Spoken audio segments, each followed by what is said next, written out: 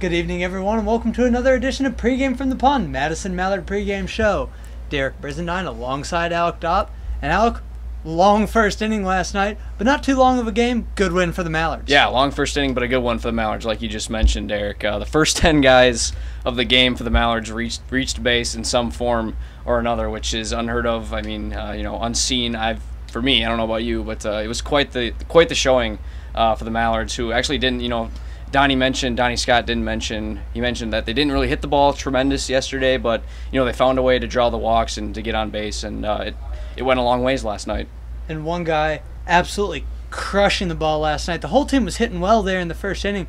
One guy that was just crushing it all night long, Gene Ramirez. Oh, what can you say about uh, Gene Ramirez? I mean, he's been he's been uh, you know just one of the, the best players for the Mallards this season. He's slugging 516 at home this season, and that's compared to a much less impressive, but still still very good, about 418. So um, you know he's played his best ball. I think six of his seven home runs have been at home this year. So um, you know it's it's uh, you know a big reason why he was in the showcase Tuesday that we saw here at the Duck Pond. He can uh, he can really hit the ball. Another guy hitting the ball well, and just glad he's back. Chris Tashita been back week and a half now, and man, everybody just the feel around the ballpark. Everybody's just so glad to have him back. Great guy, great ball player. Yeah, and I think he's you know really happy to be back too. I mean, you can just see the way he carries himself kind of on the field uh, at first base over the, over the last couple nights for the Mallards, uh, and that's a position that the Mallards have struggled to get you know really good production out of this year. Um, and you know to have him back and you know raking, he's actually he's actually hitting 500 with runners in scoring position and two outs uh, this season. He's eight for six, eight for 16 in those positions. Uh, we saw a couple of those hits last night, and uh, you know he's one of the most clutch players uh, on this team, and that's going to be key moving forward for sure. And you mentioned the difficulty to fill that first base position. I actually had a guy in Bri- Brian Rodemoyer who played a pretty good first base there to start out the year, and then he left. Scott Tyler picked it up, and Scott Tyler was having a great season, and then Scott Tyler got hurt. like, what are you? What? what are we gonna do? What do we what do we have to do to get a guy at first? And then Chris Sheeta comes back, and it's like the guy didn't even miss a beat. Yeah, I mean, like I said before, it's you can see the enthusiasm. He's he's uh, you know he's glad to be here. Uh, to get a second chance with the Mallards, and uh, you know he's we knew he was a defensive whiz kind of coming into the season, a really good utility glove for Western Illinois um, throughout his two years there, and uh, you know uh, it's really gone a long ways for the Mallards this season, having him to be able to, you know, versatility wise, to be able to stick him there at first base, and he's played really well so far. And I know we've talked about it a couple times here, but once again last night, the pitching, just outstanding. AJ Bogucki, Jesse Kay, Troy Kankel, Josh Pierce, Justin Watts, five very strong pitchers. And even though, yeah, we used five pitchers, they only pitched an inning or two, so it's not like they did did too much. Yeah, and uh, absolutely. I mean, that's been the strength for this club all season. I would say um, is you know dipping into the bullpen and you know not work, not overworking them, but uh, you know getting the you know the innings you'd want from guys who can you know come in and get those key you know outs against if a left Donnie's got to bring in a lefty against another left-handed batter or something like that. But uh, you know AJ was great last night. Uh, you know, it's uh, it's really been a great season for him, uh, you know, produ- production wise, and uh, you know, seeing guys like Josh Pierce again contribute with some more strikeouts, and uh, Justin Watts. I mean, he walked a couple guys, and not, he didn't walk anyone, but he gave a couple outs, gave up a couple runs uh, last night, but he did strike out a couple more guys, so he's going to be key, uh, you know, in the late goings for the Mallards uh, moving forward for sure.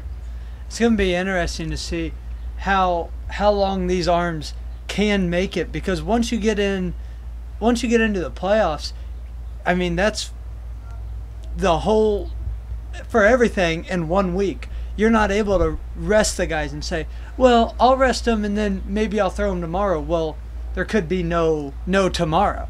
I mean, you you really got to throw out your best, and everybody's got to be on top of their game as we head into next week. Yeah, and that's really where the managers kind of make their money, so to speak. Is you know, uh, they know their guys and they know what they're capable of doing, and that's one way you know Donnie's really good with. I would say um, is you know structuring the bullpen and structuring the rotation. You know, knowing guys uh, how what their you know comfortability levels are. That's really important late in the season.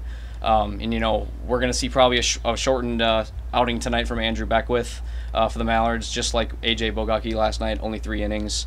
Um, but you know that's all for a good reason, as the Mallards have you know uh, at least guaranteed one playoff game, so that's going to be big. And Beckwith pitching in the final home game here from the Duck Pond here this season, and it's really been a special season. Just this is my first time with Northwoods League action. Been kind of fun to watch and see the guys. Really, a lot of them just continue to strive and get better. Yeah, and like AJ, I mean, he was, I mean, he's a returner from last season, and he didn't have a tremendous year. And this is all about developing, you know, a developmental league, the best in the country, and the biggest. Uh, so I mean, those are two things that you know the Mallards really pride themselves off of, and you know, they certainly have a good coaching staff behind them to help them do that. Well, this could be our last pregame show of the year, but we still don't know that because playoff spots still aren't set. The teams are set, but right now it's still anybody's ball game. Even La Crosse, they've still got a shot. Their their shots slowly, slowly weaning off here, but us in Green Bay gonna be a huge weekend. Yeah, the top three teams in the South Division really seem to be you know playing their best ball late in the season, and it's gonna be you know extremely interesting. You know, watch how these last few games of the regular season kind of play out. I mean. Uh, Kenosha seven and three in their last ten, I believe, or eight and two. We're eight and two in our last ten. Uh, Green Bay seven and three in their last ten. Uh, and you mentioned La Crosse. I mean, they're a great ball club, even though they're kind of struggling lately. But uh, you know, honestly, I mean, at this point, the way teams are playing heading into the postseason, it seems like anyone can kind of you know claim that top spot and play for the for the championship against the North Division for sure.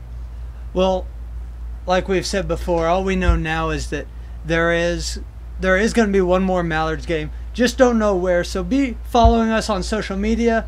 That's where we'll let you guys know where we finish up and be following along this weekend because it's going to be a fun one up in La Crosse. Absolutely, yeah. These are three huge games, especially tomorrow's doubleheader.